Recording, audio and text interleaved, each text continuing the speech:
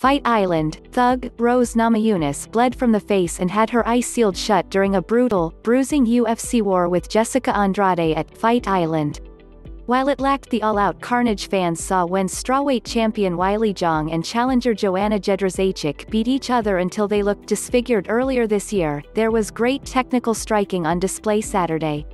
It all went down inside the purpose-built, behind-closed-doors Flash Forum venue on Fight Island, a quarantined area on Yas Island in Abu Dhabi specifically built to help the UFC continue operations, providing its international athletes with matches during the coronavirus pandemic. Andrade and Namajunas had met once before at UFC 237, with Namajunas losing by slam knockout in the second round, something she complained about at the time saying, that's not cool. The rematch took 14 months to come together, but it was one Namajunas was able to get revenge in, winning by split decision at UFC 251 with scores of 29-28, 28-29, and 29-28. Both athletes combined to throw 448 strikes over 15 minutes, with Namajunas landing 82 of 235 compared to Andrade's return of 79 of 213. There was little to separate them, as both fought hard for a win.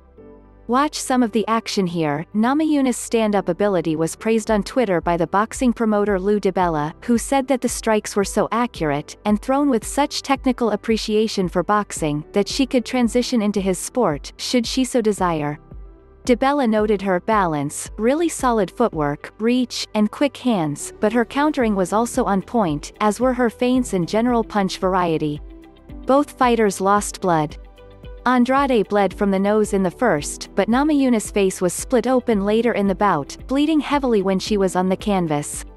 While Namajunas seemingly did enough to take the first two rounds, Andrade rallied late to score the third in her favor. The judges appeared to agree, giving Namajunas the nod by split decision with scores of 29 to 28, 28 to 29, and 29 to 28. Photo by Jeff Bottari, Zuffa LLC with the win, Namajunas advanced her record to 9 wins, 1 knockout, 5 submissions, and 3 decisions against 4 losses. Andrade fell to 20 wins, 7 knockouts, 7 submissions, and 6 decisions against 8 losses.